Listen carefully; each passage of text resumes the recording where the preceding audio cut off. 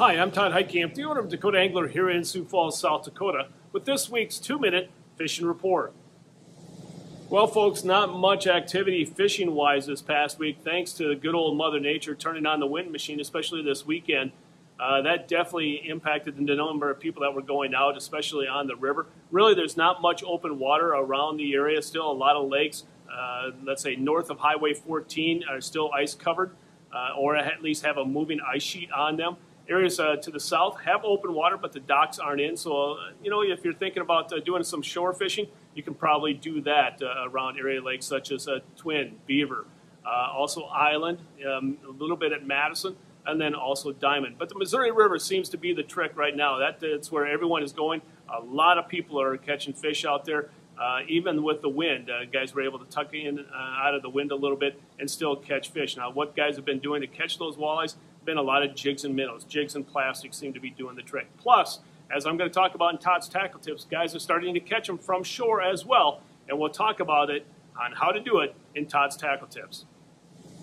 As I mentioned in the report section, this week in Todd's Tackle Tips, we're going to talk about fishing the Missouri River from shore because uh, beginning from here on out, the shore bite is only going to get better. A lot of guys have been going out there, and now the past couple of days, there's been some signs that the shore bite is starting to pick up. Despite the water, the cooler water temperatures out there yet, again, it's only going to get better.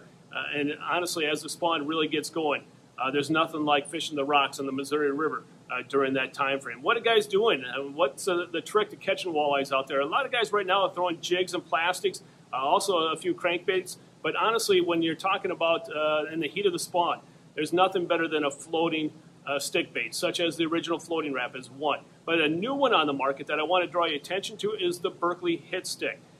these things are going to really light things up. And honestly, uh, if you've seen these around the area, you know that they're going to be a great lure to use on the Missouri River. Also, you can use it in the summertime and troll with them. But right now, uh, this time of year, it's going to be a great stick bait to use to fish along the rocks.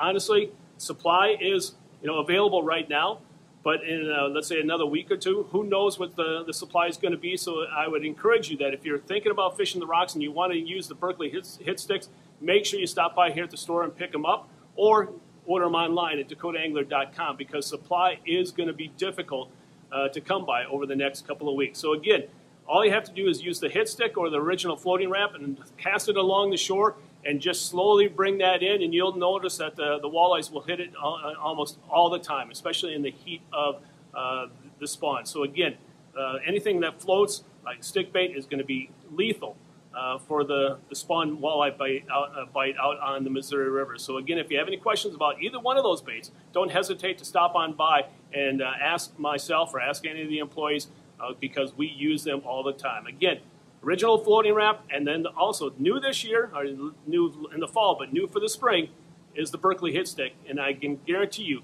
it's going to be a hot one.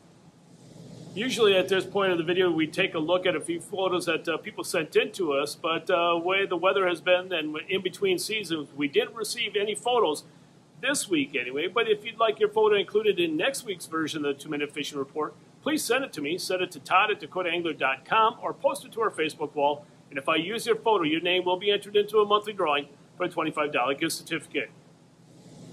And folks, before we end this week's report, I want all of you to mark your calendars for April 9th through the 10th. 9th and 10th, it's Berkley Days here at Dakota Angler once again. After a year's absence, after COVID last year, we're excited to bring it back again. So April 9th and 10th, Berkley Days right here at Dakota Angler in Sioux Falls. We're going to have a number of specials uh, uh, dealing with uh, Berkley plugs, uh, selecting Berkley plugs, as well as a free line winding on any combo that you buy.